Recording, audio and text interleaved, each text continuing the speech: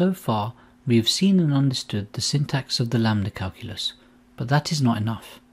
We need to be able to take a lambda calculus program and run it and get the corresponding results. For example, imagine a lambda calculus program to calculate the factorial of a number. We need rules to be able to make sure we calculate it correctly. In the next sections, we are going to cover the rules which we follow to evaluate lambda expressions. We'll start with defining some terminology, what bound and free variables are. We need to understand this before we move on to the evaluation rules. We'll then cover delta rules, then beta reduction, then alpha conversion, and finally eta conversion. Let's consider the following lambda expression. So we have lambda x and the function which adds two variables, x and y. We are also applying the constant 4 to the expression. A binding links a variable name to a value, and so in this expression, the variable name x is bound to the value 4. This is because the lambda abstraction defines the variable name in the abstraction as x. In contrast, within this particular expression, we cannot see the lambda y anywhere, and so the variable y is not bound to a value, it is said to occur free in the expression. The key piece of terminology to note is the usage of the terms bound and free, and that each occurrence of a variable within an expression is said to be either bound or free. We will come back to bound and free variables over the next slides. Delta rules are rules which are used to evaluate built-in functions. They are quite easy to understand. So consider the lambda expression for 4 plus 2 we all know that the answer should be 6 and that this expression should reduce to the value 6. So we reduce it by using a delta rule. Whenever we reach a point in an expression where we are using a primitive function that we know how to reduce, we say we are using a delta rule to reduce it. This is usually denoted with a right arrow showing the direction of the reduction with the delta symbol on top of the arrow. Nothing particularly difficult here. The beta reduction is another rule which can be applied to reduce a lambda expression to a simpler one, but this time it applies to lambda abstractions. Beta reduction is formally defined as the following. This probably looks scary, but I'll explain it further and then you will understand what exactly this notation means. You can read it as a lambda abstraction with a formal parameter named x and a function body of expression e and argument z is beta reduced by replacing all free occurrences of x in the expression e with z.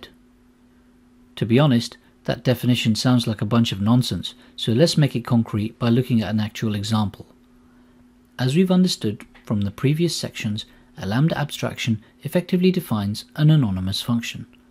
This one has a single variable and the function body just adds 1 to it. Let's see how the parts of this lambda abstraction relate to the definition above. First, we have the lambda x, which is the same in both. Now, we have the body of the lambda abstraction, which I have marked red. This corresponds to the part of the definition denoted by the capital E, and the value 4 corresponds to Z in the definition. Now we want to perform a beta reduction on this expression. And so we first consider the body of the lambda abstraction. That is defined as E in our definition and highlighted in red in our lambda abstraction. We need to see what occurrences of the formal parameter x are free within the body. Remember, it is what is free within the body of the lambda abstraction, not the entirety of the lambda abstraction itself. The body specifically is marked red. When you consider only the bit in red, then there is no lambda x present, and so x occurs free. We will see some more complicated examples when that is not the case in a bit. We can see that the single x is free and not bound within the function body, and so is eligible to be replaced with z. The result of a beta reduction is a copy of the body of the lambda abstraction with all free occurrences of the formal parameter replaced with the argument. I'll repeat that again because that is the key point here. The result of the beta reduction is a copy of the body of the lambda abstraction with the free occurrences of the formal parameter replaced with the argument. In this case, it would mean copying the lambda abstraction's body and replacing x with 4, because x is free within the lambda abstraction's body. And we can use a delta rule to reduce this further to 5, which is our final result. That's it. If you are struggling with understanding the notation at the top, then just ignore it. I've only included it within the video for the sake of completeness. And if you still don't understand the free bit, then just wait till the next slide when we go through more examples and it should click. Now let's do a few more beta reductions. Take a look at example 2. The first step in the beta reduction is to consider the lambda abstraction's body. We can see that both occurrences of the variable x occur free within the body. That is because there is no lambda x within the body of the lambda abstraction to bind it. We perform the beta reduction by copying the body of the lambda abstraction and replacing all of the free occurrences of the formal parameter x with the argument 10. And then we can use a delta rule to reduce this expression to 20 to get to the final result. For example 3, it gets slightly more complicated. And this example should hopefully clarify what we mean by free for those who still don't understand. For the first step in the beta reduction, like always, we consider the lambda abstraction's body. You will notice that the body itself is another lambda abstraction. That's absolutely fine because as we saw on a previous slide, the definition of a lambda abstraction is recursive. Now x occurs free in this expression, but y does not because there is a lambda y there. So the next step is to copy the body of the lambda abstraction and replace x with the value of the parameter, which was 4. We only replace x because only x is free. The lambda y makes it such that the y is not free but bound.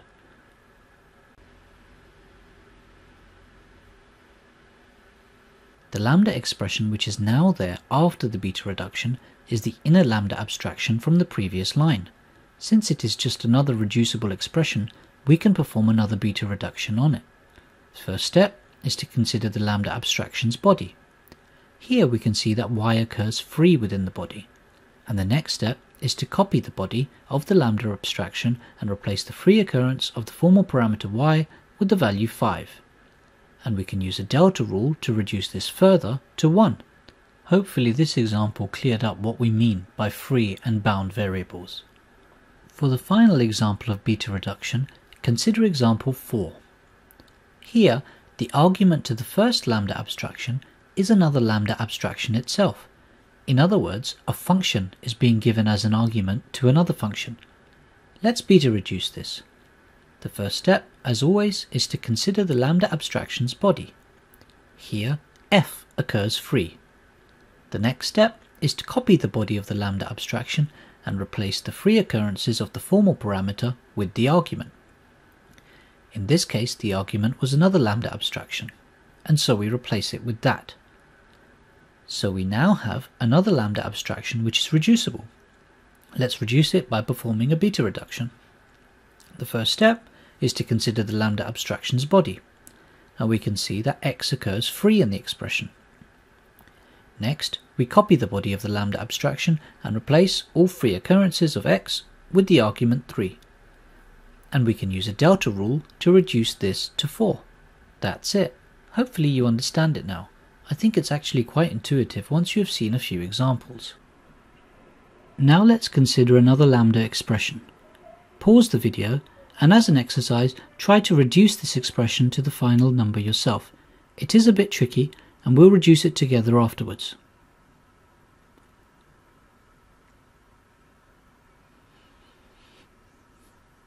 Okay, the purpose of this exercise was to reveal a few things. Firstly, when the formal parameter names of a lambda abstraction are not unique, like in this case, where both lambda abstractions have variables named x, things can get confusing. How can we identify what we need to substitute for when applying the function? Well, we just need to follow the rules correctly. So the first thing to do is to look at the body of the lambda abstraction. That's highlighted here in red. The incorrect thing to do would be to replace all occurrences of x with the value that was applied, which in this case was 9. Remember, we have to identify the free occurrences and replace those only.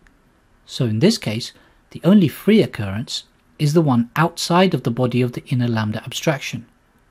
So we perform the beta reduction by copying the body of the lambda abstraction and replacing that particular occurrence of x with the value. Now we have another lambda abstraction and we want to beta reduce that. So we perform the beta reduction by copying the body of the lambda abstraction, replacing the free occurrences of the formal parameter, this time with the value 9. In this case, the only x in the lambda abstraction body is free, so we can replace that. And now, to reduce our arithmetic functions, we can use the delta rules. 9 minus 1 is 8, 8 plus 3 is 11, and that's the final answer. This example was slightly more difficult than the others, but is important to see so that you understand how confusing things can become when there is a name clash. This leads us on to the next type of rule, which is known as alpha conversion. Consider the following lambda expression. Let's try to perform a beta reduction here in the same way we have been doing so far. First, we consider the body of the lambda expression, which I have highlighted in red. The two f variables occur free in the body. So we perform the beta reduction by copying the body of the lambda abstraction, replacing the free occurrences of f with the argument x. This is actually an incorrect thing to do because the variable we are replacing it with, x, is already used as a formal parameter inside the body.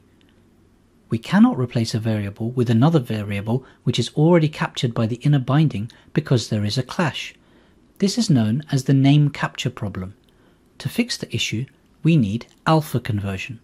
If we just change the name of the formal parameter x, along with all of its occurrences in the original expression, to something else, then surely they ought to be equivalent.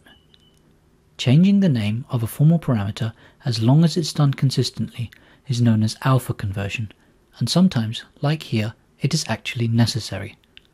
Since all we are doing is changing the name of the parameter and its occurrences, alpha conversion is also sometimes known as alpha renaming. Let's go back to our original expression and try to reduce it again. We recognize it suffers from the name capture problem, so the first step in the reduction is to perform an alpha conversion on it, changing the occurrences of x to another name. For our purposes, we use the name y. There is no name capture problem in the new expression, and so we can now safely perform our beta reduction. We do this by copying the body of the lambda abstraction, replacing the free occurrences of f with x again. When we compare the correct reduction to the incorrect one, we can see why it is necessary to perform the alpha conversion.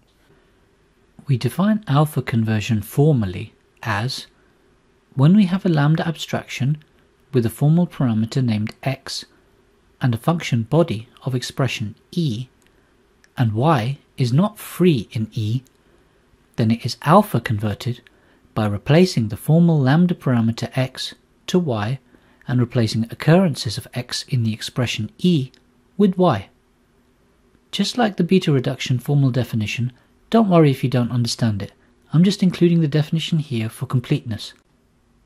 You can think of alpha conversion as just changing the name of a parameter and all of its occurrences within a lambda abstraction. For our purposes, that will suffice. In summary, alpha conversion, or alpha renaming as it is sometimes called, is another reduction rule which is sometimes necessary to perform before applying a beta reduction. Some compilers include an alpha conversion stage so that all variable names become unique. This is done to simplify subsequent processing and avoid any potential name capture problems. Consider the following two lambda expressions. The first one contains a lambda abstraction but the second does not. But in essence, the two expressions ought to be equivalent, right? They each take a parameter and add the number 1 to it. In the first case, the parameter is formally defined with the x, and in the second case, the parameter is implicit because you are using the plus function, which needs two parameters to operate on. Here is where eta conversion kicks in. Eta conversion is another reduction rule. If we have two expressions which behave in exactly the same way when an argument is applied, then they can be eta converted into each other. Eta conversion is also known as eta reduction. An eta reduction allows us to replace the first expression, which is a lambda abstraction, with the simpler second expression, which does not contain a lambda abstraction. Eta reduction allows us to eliminate the lambda abstraction and so is sometimes said to be an optimization.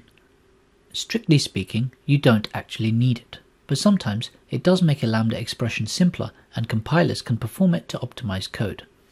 Formally, we can define eta conversion as when we have a lambda abstraction with a formal parameter x, and x is not free in e, and e denotes a function, it can be eta reduced to just the e.